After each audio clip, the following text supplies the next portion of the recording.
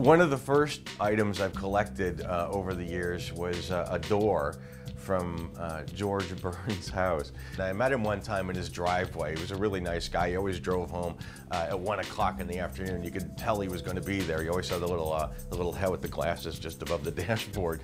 But he was coming home one night, and I introduced myself to him, and he was terrific and very nice. And I noticed in the back there was sort of a pool house. And uh, so George died, and I understand this house was sold before he died, so a couple of weeks after he died, it was emptied out. And there was this large dumpster in his driveway, and I noticed that uh, several of the doors from that pool house that I'd seen earlier uh, were out in the dumpster. So a friend of mine, Steve and I, went out there. I was driving a Dodge Colt, tiniest little thing in the world, and we, we liberated two of these doors from George Burns' garbage. We had nothing to fasten them onto my Dodge Colt. We're driving down, driving down Sunset in Beverly Hills with these two doors hanging out the window, hanging onto these things on both sides. And now the door uh, sits proudly in my home.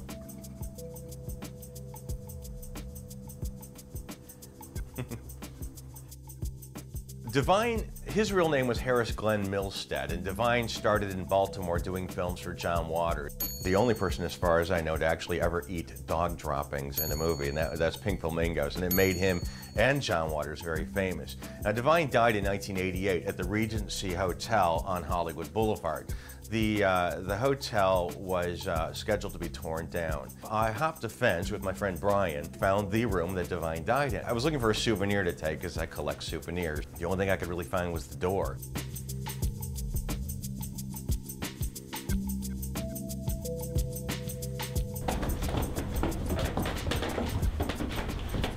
And uh, this is the door from Divine's room. I even have the uh, autopsy report, which talks about the room number on it. And there's a picture of us liberating it. It really makes my house look shitty.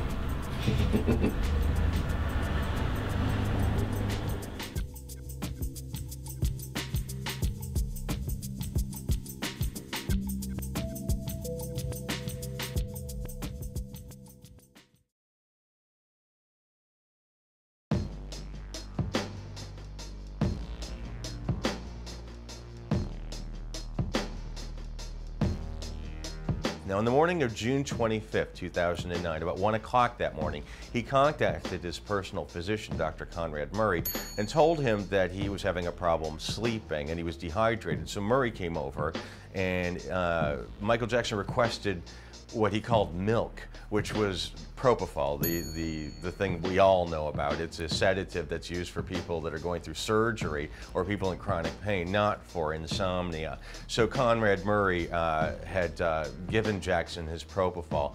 And now Murray claims that he never left Jackson's side except for uh, to use to use the restroom the next morning, and for two minutes he stepped back in, and Jackson was having uh, a problem breathing, so he performed CPR on him. Now, in reality, there's a 90-minute period of time that's unaccounted for uh, prior to the 911 call that was made from Jackson's home. During that time, there were three phone calls made on Murray's phone, uh, totaling 47 minutes. One of them was uh, supposedly to Michael Jackson's personal physician, Arnie Klein, uh, where he was asking for advice. One was apparently to a lawyer, and the other one might possibly have been to Conrad Murray's girlfriend, who claims herself that uh, she heard Murray uh, react when Michael Jackson's lifeless body was found. But 911 was called. Michael Jackson was unresponsive. They took him to Ronald Reagan UCLA Medical Center and worked on him for another two hours. Now, the, Michael was already gone. He had been flatlined back at the home. So two hours later, if they revived him, it was not going to be a good thing. But uh, he was pronounced dead two hours after the ambulance was called to the home. Now, in Jackson's bedroom were a laptop, a book, eyeglasses, several bottles of orange juice, and a closed jar of urine were surrounding the bed. Also found were condom catheters, and in the very bed that Jackson was found in was one of those blue plastic pads lined with cotton. Uh, you know, usually used for urination issues. I, I'm not saying that that's the case, these are just the facts. What's interesting about Jackson's death is that Michael Jackson's fans, they could be the sanest people in real life. You know, you're talking about lawyers and, and people in their 40s and, you know, just really successful business people. But when it comes to Michael Jackson, they fall to pieces. I mean, I've spoken to people, you know, highly educated people that are broken down to tears because of uh, this, you know, basically pop star's death.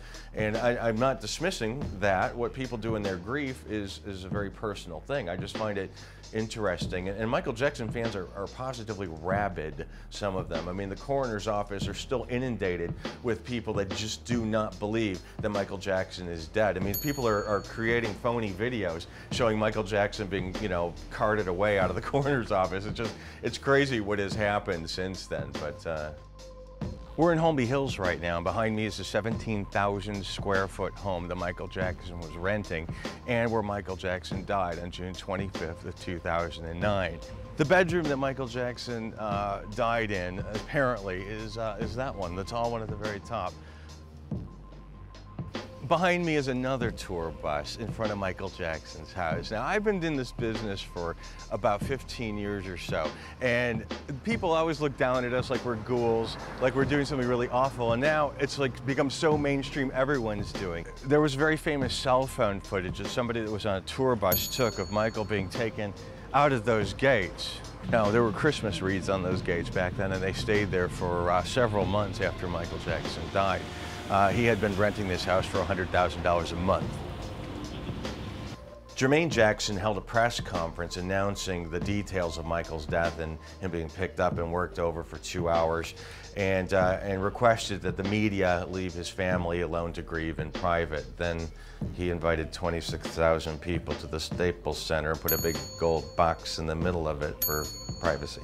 And uh, the televised funeral held at uh, Forest Lawn, Glendale, where he is entombed in the Great Mausoleum, which is the holy grail of cemeteries in Los Angeles. They say the entire bill for the funeral uh, was about $900,000, including all the clothing, etc. Now, the weirdest thing about it, since Michael Jackson's death was ruled a homicide, and homicide doesn't necessarily mean murder, it just means that he didn't die at his own hands, that someone else may have had something to do with, the, uh, with his death.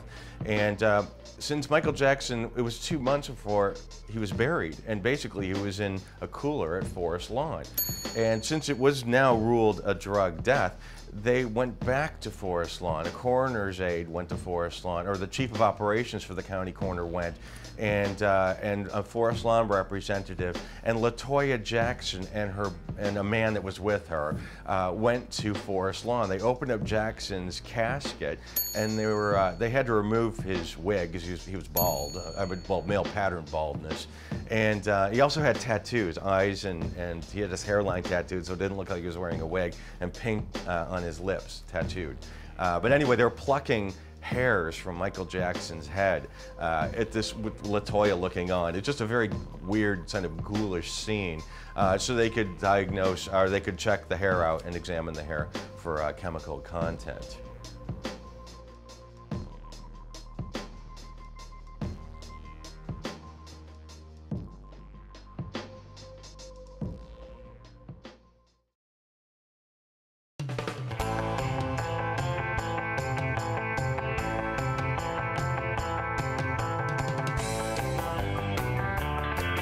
We're on the Hollywood Walk of Fame right now, which is run by the Hollywood Chamber of Commerce. When it first started 50 years ago, it was an honor to get a star on the Hollywood Walk of Fame.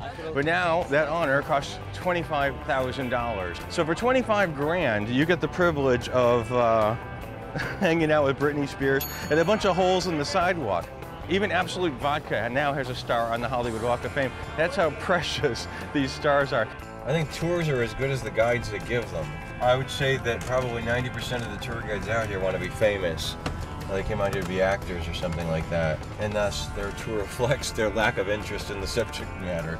I've been on several tours. I've been on a tour where there's a guy that uh, had uh, Mel Gibson and Tom Cruise and Robert De Niro and Harrison Ford living next door to each other, all on the same street. And if you know where they live, you know the Mel's in Malibu, Malibu, Tom Cruise in Beverly Hills, and Robert De Niro lives in New York. They even have a house in LA. But people from visiting taking these tours don't know that. And there are exceptions, but they are rare, rare exceptions.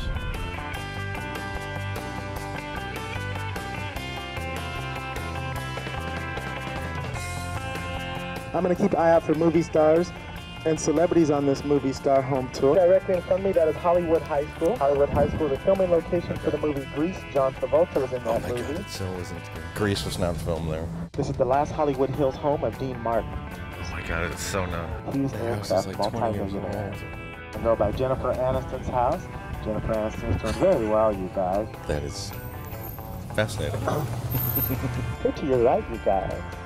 There's no one other than Silence of the Lambs, Jodie Foster. Uh, I don't see her car out front though. That's because really she moved cool. away. Jodie Foster hasn't lived there in ages. You'll see the yellow mansion. That's Simon Cowell, you guys. American Idol all the way up there. Simon. He does not live anywhere near. This guy coming up. On the corner is a guy that sells star maps, so we're gonna pick one up just to see. Courteney Cox, no, she hasn't lived there in years. Danny DeVito, okay, he is there. Monica Lewinsky, she made the star maps. Faye Dunaway, no. Oh, it's his past home. Who cares where Faye Dunaway used to live? Eddie Murphy, Benedict, no. Tobey Maguire, he's moved, no. Madonna moved out of Roxbury years ago. It still has Engelbert Humperdinck's house here, which was torn down about five years ago. George Burns lived at a home in Beverly Hills for like 50 years, and it has a name, uh, an address in Encino for him, but Charo's house is right. God, you know what? These are just, these maps suck.